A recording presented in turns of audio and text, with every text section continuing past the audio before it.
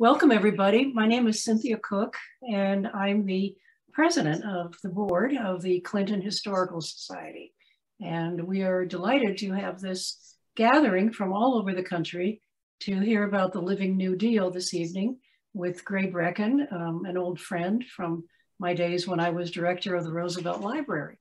But um, today I'm doing other things, and the thing I'm doing is um, hosting this hosting this program while those of you who are coming in are being admitted. So you'll have to forgive me if I'm um, not able to do two things at once, but I, I did just want to um, say thank you to, to not only Gray and Kurt from the Living New Deal, but also to Barbara Sweet, who is our chairman, chairwoman of the um, programs for the Clinton Historical Society.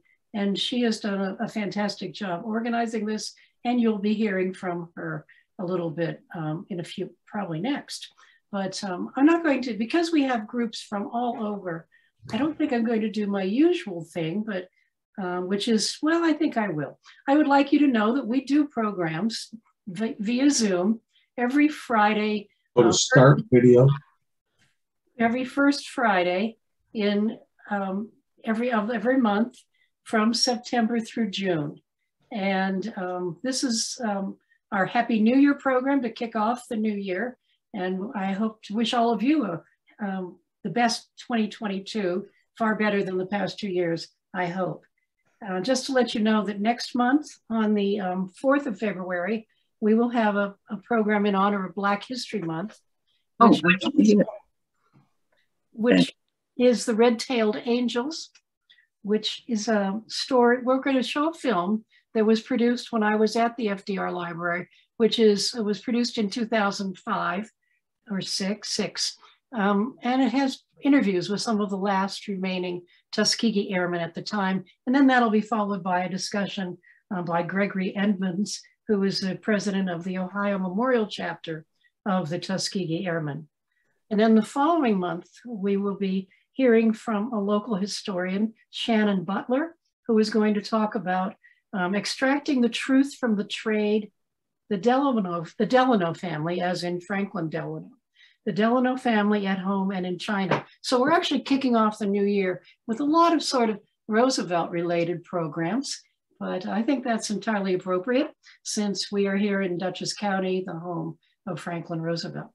And so without much further ado, I am going to turn the program over to our program chair, Barbara Sweet, and she will take it from there. Barbara? Thank you, Cynthia, and good evening, everyone. Uh, thank you for joining us tonight. My name's Barbara Sweet, and I manage all the programs for the Clinton Historical Society, and I'm delighted to welcome each of you to this virtual talk titled the New Deal comes to and transforms Dutchess County. Our gathering's on Zoom and it's also being recorded. Fourth row down. Oops. Our gathering, those of you uh, who came in later, uh, would you kindly turn off your microphones if you would? In fact, okay. I'm, going, I'm going to mute everybody. And that, that should take care of that. Okay? Okay. There. Okay. I have to unmute myself. Okay.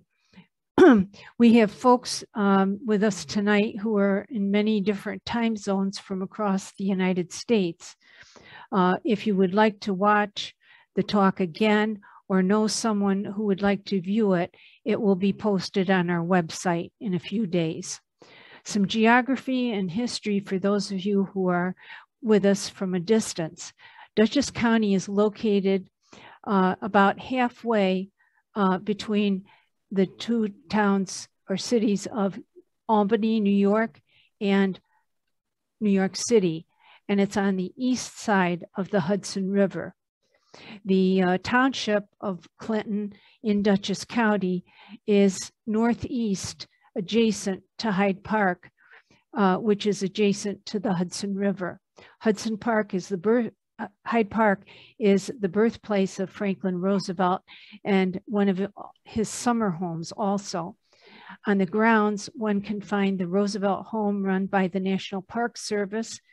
And on an adjacent piece of property, there's the Franklin D. Roosevelt Library and Museum, and that's run by the National Archives and Records Administration.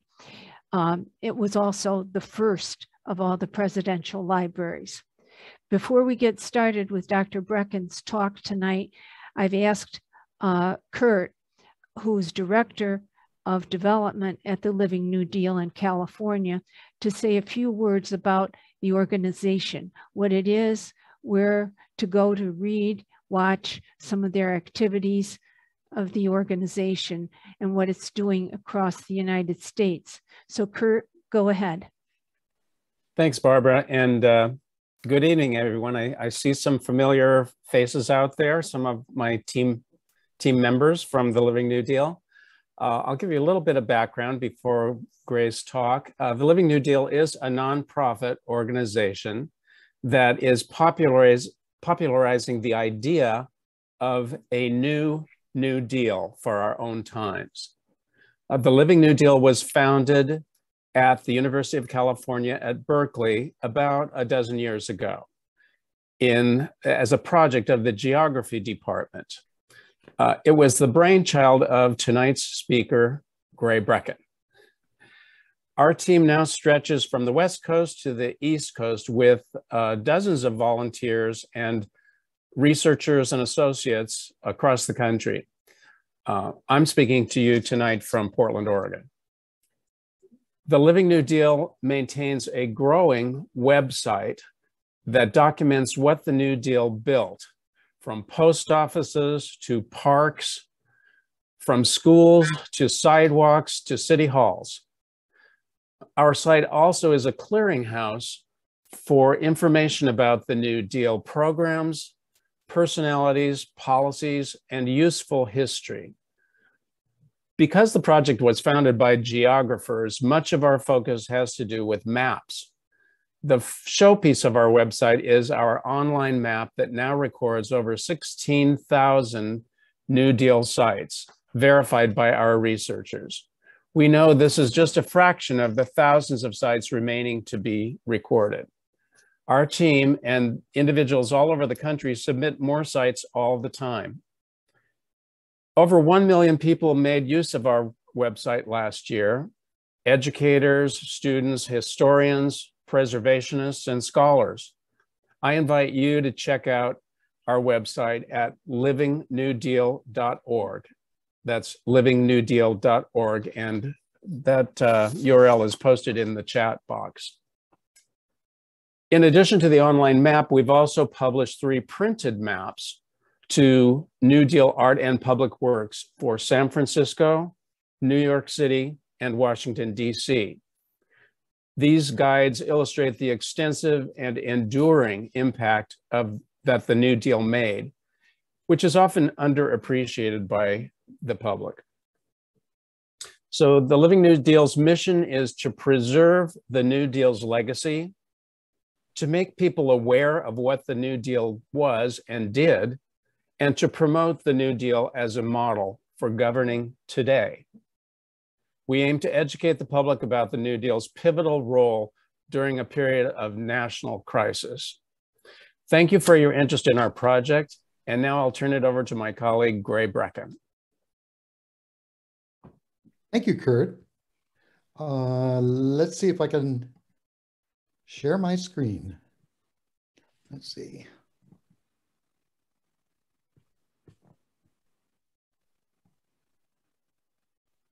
Well, that should do it, but it's not.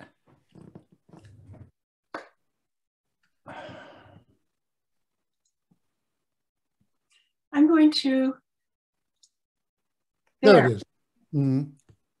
Good. Okay. That was, yeah. Okay. Now you might want to make it there. There Perfect. we go. Perfect. Okay. All right. Well, welcome everybody. Um, uh, Cynthia asked me to to do this talk about a year ago. And of course, I said, sure, because that seems so far away. And uh, but in the last few months, it's rolled around and I realized I had to do it. And it's been absolutely fascinating to do it because although I'm sure many of you know the county much better than I do, Hyde Park is Mecca for those of us in the Living New Deal and our sister organization, the National New Deal Preservation Association. So this talk is specifically about Dutchess County, although I'm going to give you a little introduction before we get there. Of course, when Roosevelt came into office in 1933, the, the country was in the pits of the Great Depression. And scenes like this, this is a photograph by Dorothea Lange for the Farm Securities Administration, scenes like this were common all over the country. And it should not seem all that strange because, of course, they are common all around the country now as well, too. In fact, although the stock market is doing very well, um, what's happened is the depression has been privatized so that individuals are now living in their own Great Depression as well, too.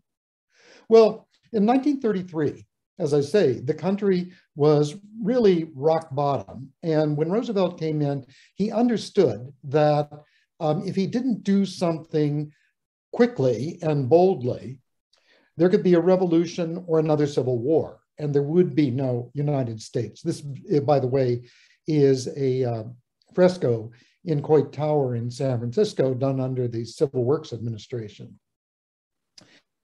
Roosevelt, of course, had a magnificent speaking voice, and he was able to use the new social media of radio with his fireside chats and just the way he spoke. Um, he solidified the country and imbued in it a sense of great um, confidence and in individuals, the self-esteem, which so many of them had lost through the work relief programs. This is from his second inaugural address at the FDR Memorial in Washington. The test of our progress is not whether we add more to the abundance of those who have much. It is whether we provide enough for those who have too little. That's a statement you haven't heard from the White House in quite some time. And the point I want to make is that the Roosevelts, both of them, were practicing rather than professing Christians. They believed that it was their duty to help those less fortunate than themselves. And financially, most people were, of course.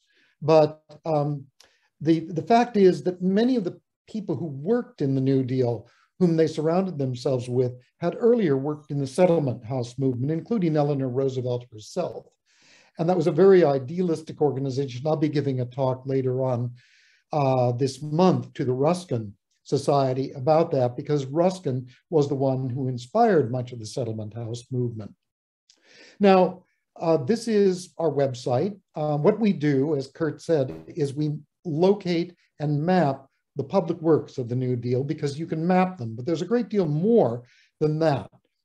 What I say about the uh, public works is that they're trying to speak to us in a lost ethical language.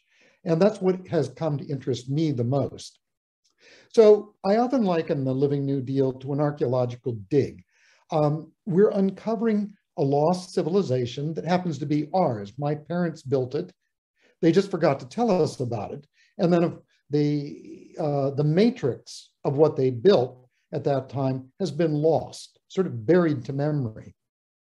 So this is what happened. It started out actually as the Living New Deal of California. And we began using some sort of primitive technology to locate what was going on in California. And then we found we, you drop down a rabbit hole and we decided to expand to the rest of the country. And so this is what happened over the years.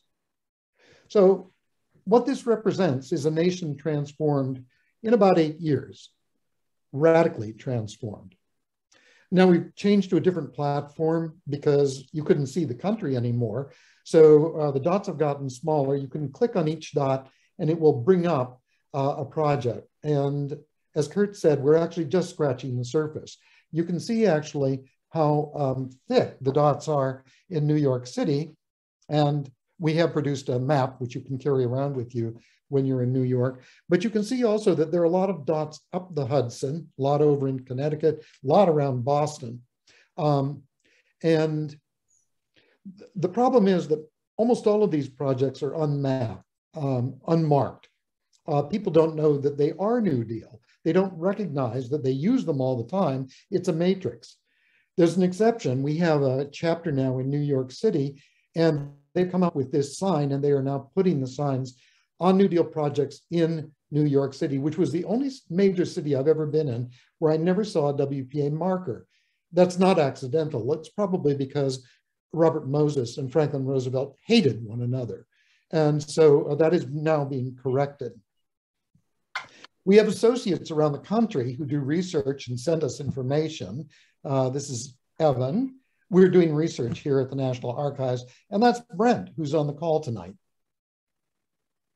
Now, I'm going to give you just a brief primer on the various work uh, relief agencies because you're going to be hearing about them in relation to Dutchess County. The Civil Works Administration, most people have never heard of it, the CWA, it only lasted for about five months and it was created by executive order in the winter of 1933 by Roosevelt to get the country through a very harsh winter so that millions of people did not starve and freeze. And it gave jobs to a lot of people, and they received checks directly from the Treasury.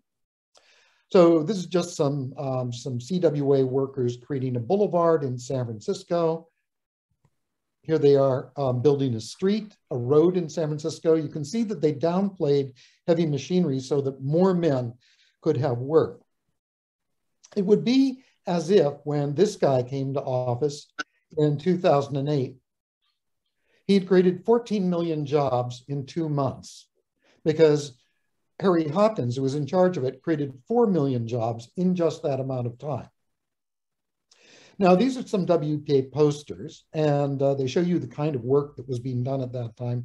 The point is that the work that was created by the New Deal agencies was socially beneficial work.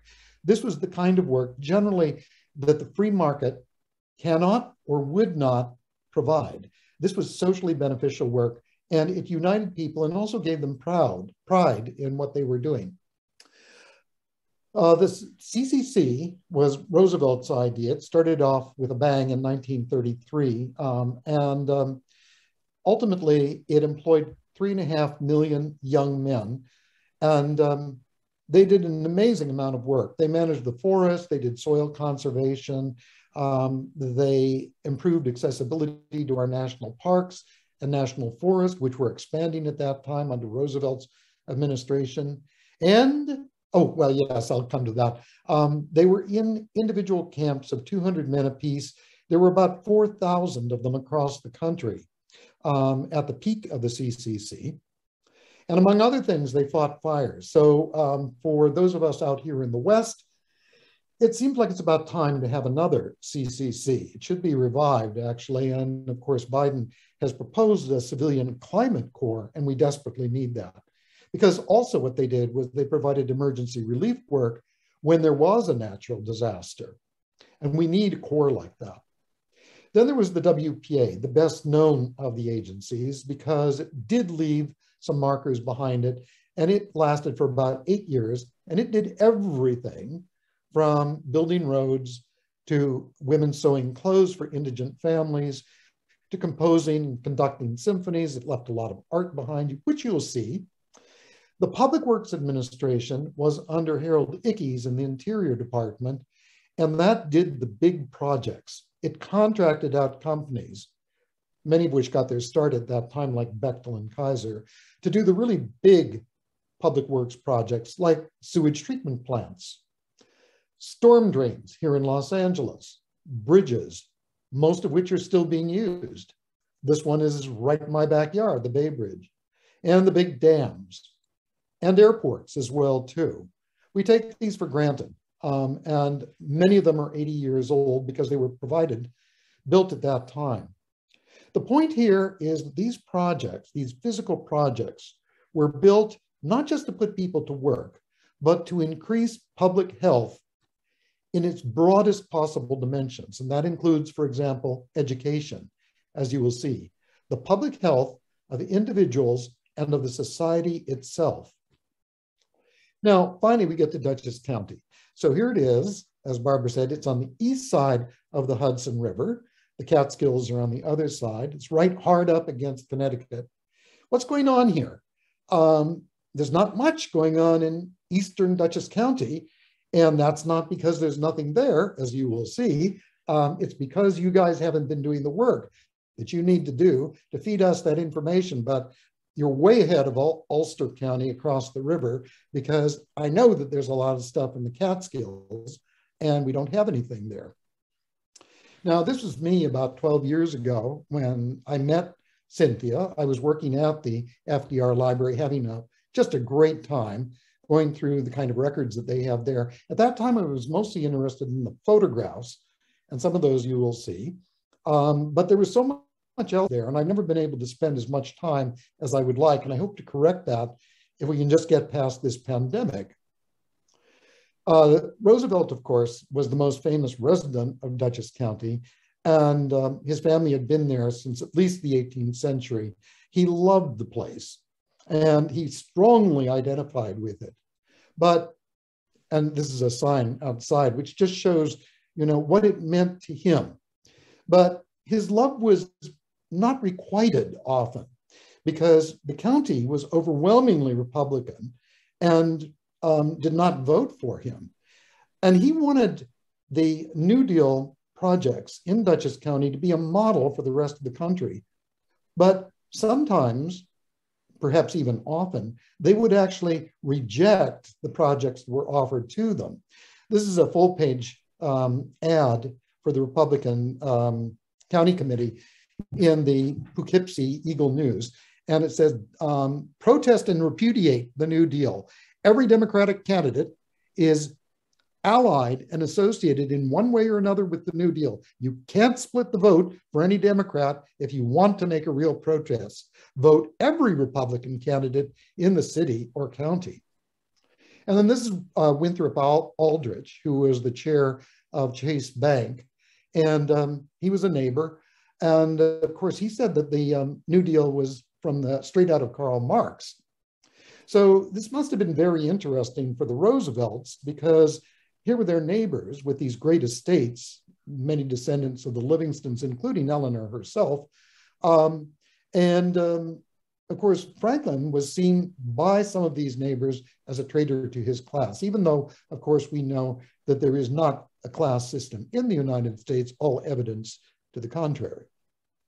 Now, this is actually an, uh, another article from the Poughkeepsie Eagle News, and it shows the bent of that newspaper that this gym, which was going to be provided in Poughkeepsie by the WPA, was it's couched as a burden because the city would have to pay a share of the cost of the gym. The WPA would pay most of it, but the, the city actually had to pay some money for the gym. And so in a way, it's kind of um, asking you to repudiate these, the gym and other public works as well.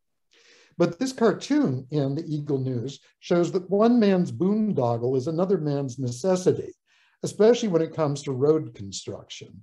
So, um, I mean, there are a lot of really funny uh, political cartoons in the Eagle News as well as other newspapers at that time. But the newspapers on the United States, the larger ones at least, were were very largely against Roosevelt, particularly the Hearst chain of newspapers. Hearst called Roosevelt more communist than the communists themselves. And that's largely because Roosevelt instituted progressive taxation in order to pay for the New Deal. And that really put a crimp in Hearst's building of San Simeon, as well as his building of other uh, castles as well, too. Well, here's a, uh, a mural, which probably many of you know. It's in the Hyde Park Post Office. It's one of the very few in the country that has a, a picture of Roosevelt. And in this case, he's in his open top convertible, um, checking out the plans for the Hyde Park um, Elementary School um, with one of his na farmer neighbors looking on. And of course, there's Fala near the running board. And Roosevelt saw, thought of himself as actually um, an architect in the vein of his predecessor, Thomas Jefferson. And so he had a great deal to do with the design of a lot of the buildings you're about to see. Well, here is that elementary school, right in the heart of Hyde Park. It's in Dutch colonial style, and you're going to see a lot of that. It's in Fieldstone, which he insisted on. And unfortunately, it's not being used, I understand, right now as an elementary school. It has other functions, including, I believe, a kindergarten and administrative functions. But it's a very handsome building in which um, Roosevelt had a hand. Uh, down the road is the Franklin Delano, um, let's see, that was the high school, I believe. And again, it's fieldstone. And it's kind of a strange melange of Dutch colonial and Palladian. Uh, and I think Roosevelt felt that this was appropriate for these large institutional buildings. Um, smaller ones would be more humble. This is a beautiful building. I was fortunate enough to get into it, and it's very difficult to get into schools, New Deal schools these days, which makes it very frustrating. Um, but the detailing in this building is absolutely beautiful. And Roosevelt had a hand in all of this. Uh, it's, it takes its cue from um, colonial buildings in the county. And fortunately, it does have two plaques in it. Uh, it always makes my day when I can get into one of these buildings and see uh, plaques like this that identify it as a New Deal project. Here's one that actually has Roosevelt's name on it, not just as the namesake of the high school, but um, having a great deal to do with the, um, the creation of the building. Then there's the Violet uh, Avenue Elementary School, looking much like the Roosevelt High School, um, a sort of Dutch colonial Palladian building. And then up the road, up the river, is um, the Red Hook Central School. This is a very large school, uh, which I visited um, with a local uh, who went to school there. And this is, like many of the New Deal schools, a union school. That is, it um, agglomerated or brought in students from much smaller rural schools and provided them with facilities that they couldn't have out in the country, for example, in one room schoolhouses. In a large modern school, um, this is a uh, newspaper article at the time saying that Roosevelt was going to come to dedicate this, but this was just a day before September 1st, 1939, the day at which Germany invaded Poland and Roosevelt had other things on his mind at that time and had to skip the dedication of this school. Uh, the detailing on this school, as in so many other New Deal schools, is just magnificent. This is uh, terracotta. This is the wing for the arts, showing the, um, the drama, music, and painting.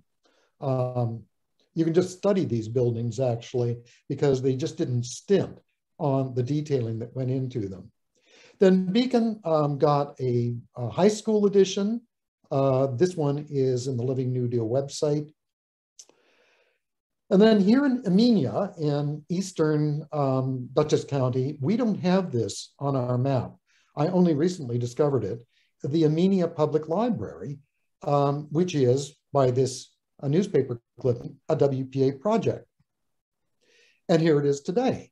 Um, it's pretty spiffy. And I have to thank Betsy Strauss for telling me about this. Uh, she informed me of this and said that um, she thinks that the library in Pawling may also be a WPA building. So it's up to you guys to check on this and confirm that. Um, is there a plaque in it? Um, maybe there is a newspaper clipping. Go to the reference librarian and find out. Now, the buildings that you probably are all familiar with um, is um, are the post offices, because Roosevelt had a hand in designing um, five post offices in Dutchess County and another one across the river in Ellenburg. Um, and uh, these are absolutely fascinating. They're some of the finest post offices in the country, both small and large. This, of course, being Hyde Park. And the reason that they have art in them um, is thanks to largely to two women. One is Eleanor Roosevelt and her friend and neighbor, Elinor Morgenthau, because Elinor Morgenthau's husband was the Secretary of Treasury, Henry Morgenthau. And these projects, these art projects that are in post offices around the country are not WPA as people commonly think. They're under two different projects within the Treasury Department, which paid for them. And so this is actually a fresco in Coit Tower in San Francisco, which honors the men who were involved in the uh, federal art projects, but Eleanor is right there. Uh, Ellen, I don't believe the woman in the back is Elinor Morgenthau. The purpose of this, of all this art, was democratizing beauty. I've written about this because both of the Roosevelts, like those of their class, had experienced beauty by going to on the grand tour around Europe. And they felt that Americans should all be entitled to that. Holger Cahill, who was the head of the Federal Art Project, said that FDR was more deeply interested in the arts than any other president since Thomas Jefferson. And it is doubtful that any head of state since the Renaissance has equaled him as a patron of the living arts. So we'll, we're going to go up the river and look at these post offices that Roosevelt had a heavy hand in designing. First is the Beacon Post Office, a beautiful building, um, which has a mural. I had to take this out of a, um, of a book. Um, so I really need a photograph, a good photograph of this mural of, which is a map, obviously, of the Hudson and uh, the counties along it. Um, and here I have to interject that this is a book that um, local historian Helen Wilkinson Reynolds um, published with an introduction by Franklin Roosevelt in 1929 for the Holland Society.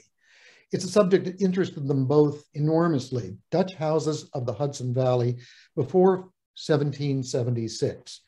And um, Reynolds did an enormous amount of research on this, and but Roosevelt was also involved, and he was fascinated by these buildings because they, of course, also represented his ancestry and probably as well uh, Eleanor's ancestry as well.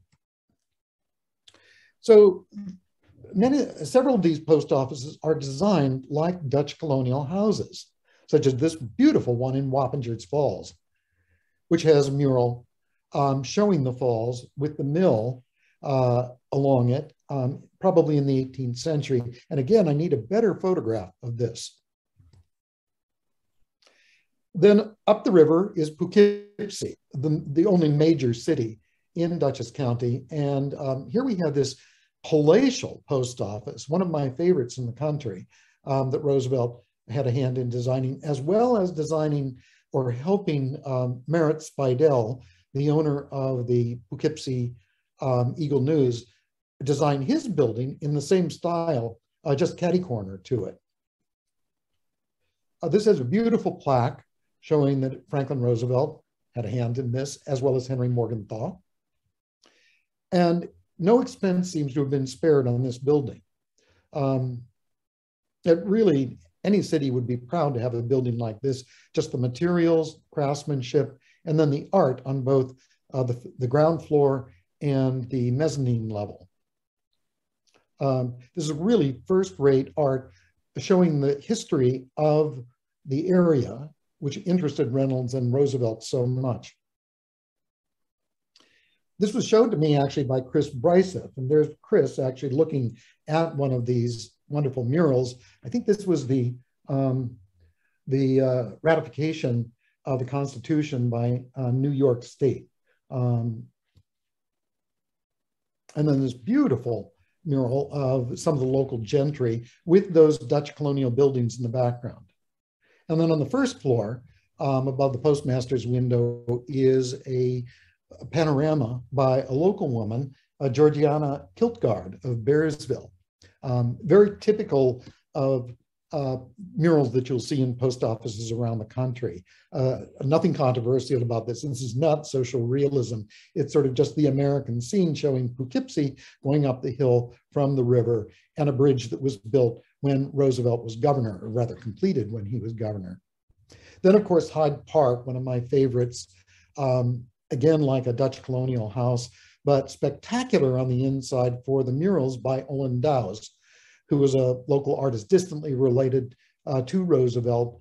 And it shows scenes of local history. Um, um, this is bringing up a sturgeon, the likes of which will never be seen in that stretch of the um, Hudson ever again. But it also shows that there were blacks at that time um, in the valley, um, whether free or slave.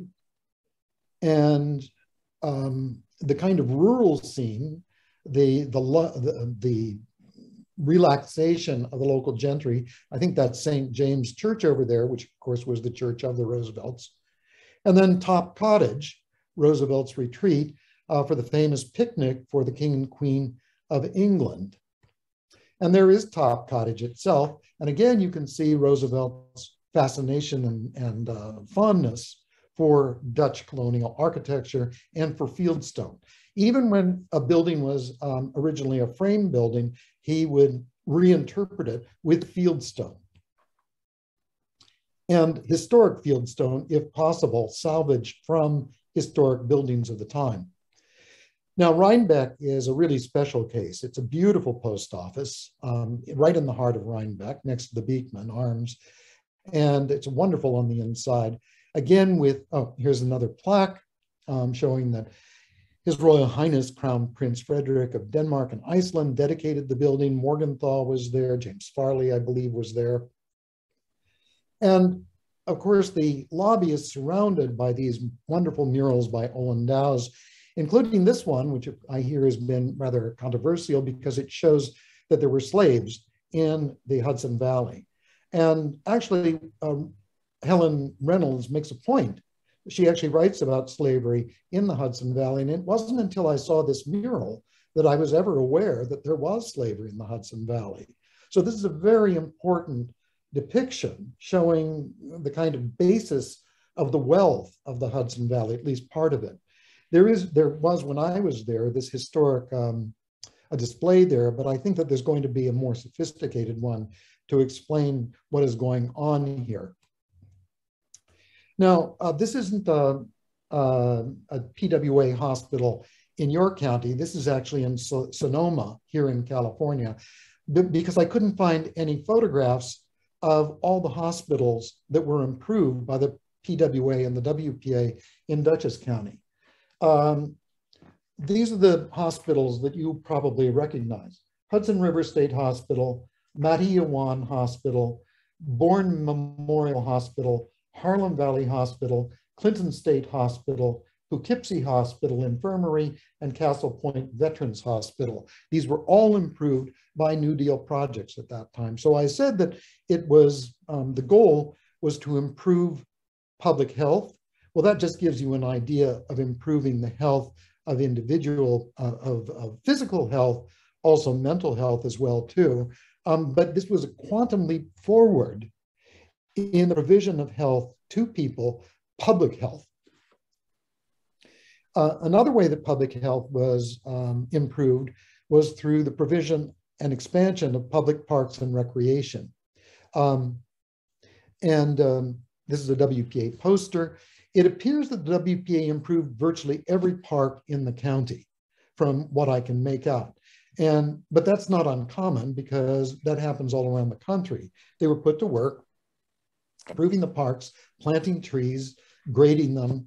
Uh, many cities had um, their street trees put in here in Berkeley. Um, we found out that they planted 16,000 street trees. And of course, these are not marked, and they're the glory of the city today. Sacramento would be unlivable without the trees that the WPA planted at that time. But they also provided swimming pools, tennis courts, um, badminton courts, recreational facilities. And um, Dutchess County is no exception. The women of Vassar um, founded a kind of um, settlement house in Poughkeepsie to serve the, um, the um, poor there. Um, I think it was 1916. It was called Lincoln Center, and the WPA built this a gym and community center, which was very much used at that time. On the lower left-hand corner, you can see Eleanor Roosevelt giving a talk there to the assembled people. Uh, unfortunately, this building was torched by an arsonist and is no longer standing, but it is in our website. This is a peculiar thing. Um, the, um, this memorial was provided by a local financier, but it was improved by the WPA. And so um, I'd like somebody to go up there and see if there's a plaque uh, signifying that, but I found that out from the Dutchess County WPA guide. And then the Cornell Crew um, Boathouse uh, on Marist College grounds, right on the Hudson River. That's WPA. It's a very large, handsome building. But the real recreation was largely provided by the CCC. Now, we tend to think of the CCC as largely a Western kind of thing, but in fact, actually, there was a lot of CCC camps in upstate New York, in the Adirondacks, the Catskills, and along the Hudson River. This is a map I found in the FDR library showing where the camps were. And in particular in the county, uh, they improved Norrie State Park. There was a camp right there, and it's distinctive for its beautiful stonework, uh, which the CCC boys were so good at all across the country. Whenever you go to a national or a state park and you see beautiful stonework, you pretty much know that the boys were there.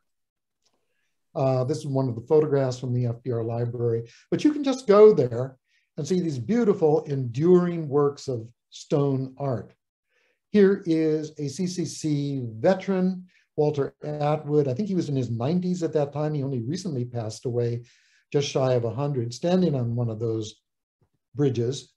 And then the pavilion has beautiful work in it too. It's been converted to an environmental center right on the river and uh, one of the restrooms there, Dutch colonial, of course. I believe that these rustic buildings, which uh, people can use, are probably built by the CCC. And by going to the FDR library, you can actually look at the um, paper, the newspaper that was uh, uh, produced in that camp, uh, Camp 1274. And uh, wonderful sort of um, uh, amateur, kind of naive artwork. This is one of the CCC boys actually leaving the camp and all of the friends that he's made there. Now I stuck this in, this is actually a camp in California, but I just wanted to correct a common misperception, which is the CCC was racially segregated. Half true. Um, it was actually um, partially integrated from the get-go from 1933 at the insistence of Representative DePriest from Chicago, the only Black in Congress at that time. And um, so this is a photograph from the FDR library that shows that the integration of one of these camps in California. I don't know whether the camps in um, Dutchess County were uh, integrated at that time. The CCC also improved Taconic State Park. Uh, this pond was a creation of the CCC. And then um, the sort of less spectacular stuff that we don't really think about, but we couldn't live without, that is infrastructure. So this is from our website, and you can see that the CWA provided labor for the improvement of Beacon's waterworks, roads, and sewers. And here's road building. Um, we take this for granted. Um, but this is a map I found of, in a WPA publication of one rural county in central Iowa, showing all the roads that were improved, made all-weather market to farm roads, uh, serving Oskaloosa. And this is a very conservative part of the country. They have no idea that every day they are taking advantage of the New Deal by driving over these roads to, to um, deliver their produce and um, do whatever people do um, in a rural county like that. And I suspect the same is true for Dutchess County. As a matter of fact, here's a photograph of not a good one of a road near Amenia. This is, was done by the WPA. Also, look to your feet because they did most of the sidewalks in um, Poughkeepsie, Beacon, and probably other cities as well in Dutchess County too. So we're always happy to find WPA stamps like this one, which happens to be in San Francisco. They're disappearing all over uh, because they tend to be at the corners of the sidewalk, which is where we put our curb cuts. So they're disappearing fast. If you find any of these, let us know. Then they did the sewers, storm drains, water supply as well too. Um, one of the local officials said, uh, while a large percentage of our good deeds are buried projects, such as water extension work, the general public does not realize the real value to the city, that is to Poughkeepsie, of putting in the, the storm drains and the sewers, without which the city would be mm, very unpleasant and perhaps totally unviable. By the way, the sewers actually, they, they would put them in sometimes retroactively, but they made possible development out into the suburbs. And here you can see a clipping from the Eagle News that shows that the 8th Ward in Poughkeepsie was getting uh, sewers. I strongly suspect that the famous water tower in Tivoli is a WPA project, but I haven't been able to confirm that. So here you can see the amount of money that was being spent in and on Dutchess County, and it was really transforming the whole county. Even little Uniondale, Unionvale, got a $10,000 storage building. Finally, to wrap up, there are the service projects. Now, these we can't map. Um, they didn't leave many traces, but they're fascinating because, again, they speak of the lost ethical language. They, the New Dealers in particular were concerned about the welfare of children. They knew that children that are mistreated, and particularly who are hungry, um, are going to be stunted for the rest of their lives. And so that should be taken care of as well as the medical care. And here below, you can see actually that a, a, racially integrated kindergarten. I think that the idea was a process of gradualism to um, get children to know one another so that the, the barriers of race would break down. For those of us who are interested in history, uh, we owe an enormous debt to uh, people whose names we don't know, largely women, in the Historical Records Survey, which was part of the WPA, as well as the Federal Writers Project. These librarians, archivists, and others not only preserved records, they assembled them, they identified them, they bound them, and they made it possible for us to do research today. We're standing on their shoulders. The Federal Writers Project did those famous state guides, which are quite large, but this is just a small one. They did these all over the country, one on Dutchess County. I learned a lot from this one about the history of the county, but also I found several WPA projects. And finally, these projects are still enriching our lives. Um, and yet we don't know who to thank. This is the um, the uh, librarian Amenia, one of the uh, photos that uh, Betsy Strauss sent me. And uh, it shows these people, their lives are being enriched by projects that were built 80 years ago uh, that we have decided that we shouldn't fund or finance much anymore. And so consequently, much of the United States is falling into a state of ruin today, largely because we were persuaded that we shouldn't pay the taxes necessary to create or even maintain all of this wealth that was created at that time. Well, I just want to wrap up with some WPA posters. And what's interesting when you look at these posters is a, an additional letter that we're not used to seeing much, free. All of these various New Deal projects were free rather than had a, had a fee attached to it. So free or fee, it's the missing R that counts, that really determines the quality of the civilization that we're going to have. And at that time, a great deal was free that we no longer take for granted. Well, here's a page from the Living New Deal when we only had just over 15,000. We're closing in on 17,000 sites now. As Kurt said, there's a website. We urge you to go and look at it, roam around in it. I think of it as kind of the Winchester Mystery House of the New Deal. You can get completely lost. You can find all sorts of stuff, including 100 New Deal movies that you can watch from the National Archives. Um, have a lot of fun. And also, as I said, find stuff and send it to us so that we can actually put it on the map and enrich it. You're way ahead of Ulster County. I want you to get even farther ahead. So thank you very much. Thank you for your patience.